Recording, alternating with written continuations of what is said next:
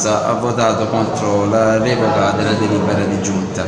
Il gruppo dei Libero Quali è favorevole all'accoglienza dei 12 minori stranieri non accompagnati ed intende proseguire questa linea in quanto oltre all'accoglienza si dà anche la possibilità di riscritturare un immobile di proprietà.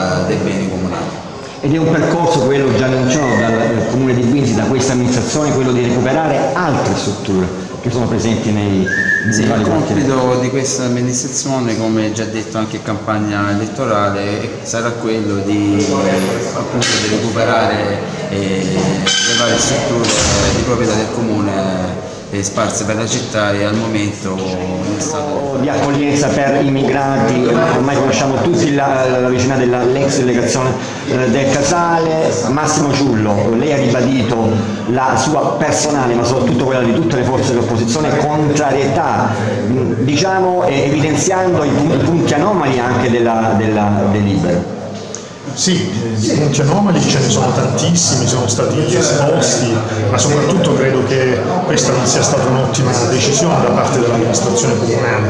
Io credo eh, che Brindisi, oltre ai suoi problemi, anche, registra anche una numerosa presenza di migranti, aggiungerne altri in un contesto che è caratterizzato da varie problematiche, io credo che non sia il piede migliore per cui questa amministrazione abbia iniziato il suo cammino. Da parte della Lega, partito che rappresento, ma vedo che anche le altre forze dell'opposizione sono sulla stessa linea e c'è la netta contrarietà e abbiamo chiesto che il sindaco revochi questa delibera, che non significa semplicemente per noi della Lega dire no agli immigrati al Casale, ma no ad altri immigrati in tutte le parti della città.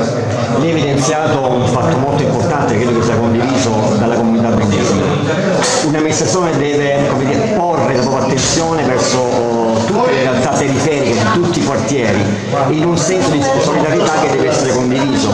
E, e quindi eh, è un problema di, di apertura, de, o apertura delle, delle delegazioni comunali che interessa vari, vari quartieri. Sì, appunto, cioè quel, quei siti, quelli, quegli edifici andrebbero recuperati alla città e ai brindisini consegnarli all'accoglienza dei migranti significa praticamente perderli per quanto riguarda la possibilità di erogare servizi ai cittadini. Ma al di là di questo io credo che ormai su tematiche come quelle dell'accoglienza migranti eh, devono, essere scelte che vanno condivise a priori con le stesse comunità che li dovrebbero ospitare. Anche riferimento alla posizione anomala dell'assessore, dell'assessore Coppola.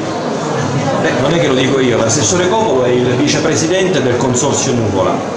Eh, lo dice il, una visura camerale, chiunque sia può andare in, in, in Camera di Commercio, noi lo, lo possiamo fare dottori commercialisti utilizzando un sistema informatico, basta scaricare e vedete che tra le cariche sociali chi è il presidente e il vicepresidente. Il vicepresidente è l'assessore Copolo, che è eh, l'assessore alle politiche giovanili e della programmazione economica del comune di Brindisi. Fin qui nulla di strano se non fosse il fatto che le cooperative associate a questo consorzio Nuvola eh, lavorano per conto del comune di Brindisi, guarda caso nel servizio di accoglienza dei minori ehm, ehm, stranieri eh, non accompagnati.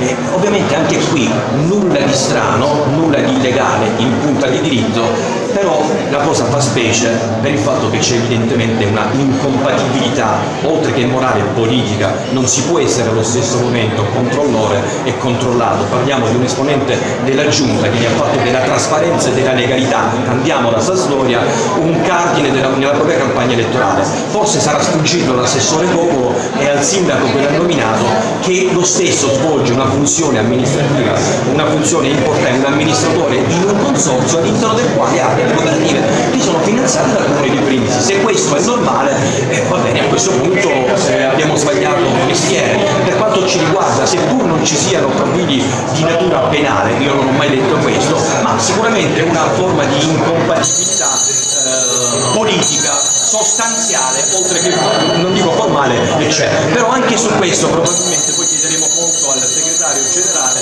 se non ci sia anche una forma di incompatibilità, eh, oltre che sostanziale, formale.